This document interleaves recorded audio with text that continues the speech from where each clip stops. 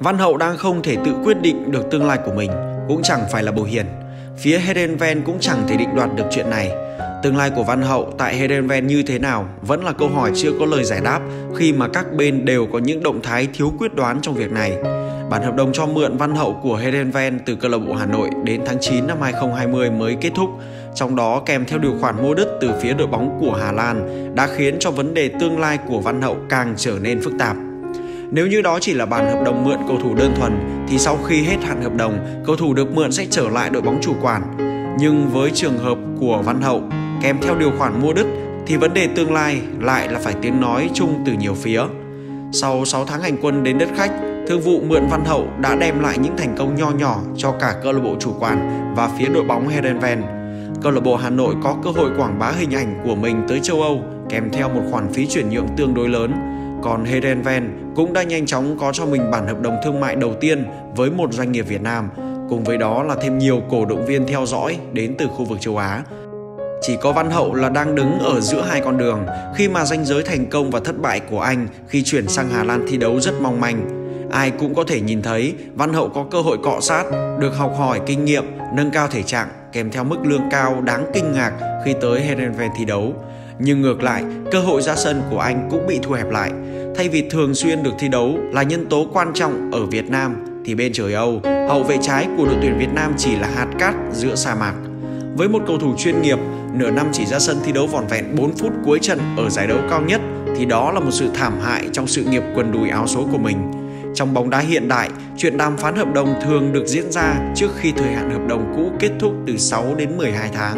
Thậm chí, nếu cầu thủ đó tỏa sáng thì câu lạc bộ đang sở hữu còn thúc đẩy càng sớm càng tốt một bản hợp đồng mới với nhiều điều khoản thay đổi. Nhưng với Văn Hậu, cho tới lúc này, câu chuyện tương lai vẫn đang bị bỏ rơi và quên lãng, mặc dù chỉ còn 7 tháng nữa là kết thúc hợp đồng.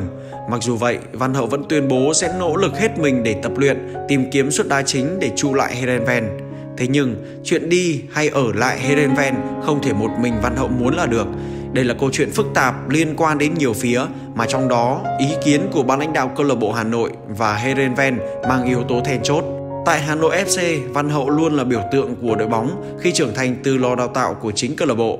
Việc Văn Hậu sang Hà Lan thi đấu là hình ảnh của cả câu lạc bộ trước mắt bạn bè quốc tế. Dĩ nhiên, Hà Nội rất muốn Hậu được ở lại Herenven và tỏa sáng. Nhưng thực tế tại Herenven lại khác. Nhiều ý kiến cho rằng họ mượn Văn Hậu không phải là vì yếu tố chuyên môn mà vì mục đích thương mại nhiều hơn. Mặc dù luôn khẳng định Văn Hậu có đủ năng lực, chuyên môn để thi đấu tại giải vô địch quốc gia Hà Lan, nhưng cho đến lúc này Văn Hậu vẫn phải mài quần trên ghế dự bị. Tuy nhiên, dù Văn Hậu không đóng góp nhiều vào lối chơi của Herenven, nhưng có thể vẫn được câu lạc bộ này giữ lại để tiếp tục phát triển mục đích thương mại của mình.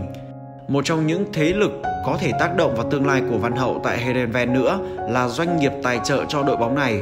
Không phải ngẫu nhiên mà một doanh nghiệp Việt Nam ký hợp đồng thương mại với Herenven sau khi Văn Hậu tới đời chơi bóng.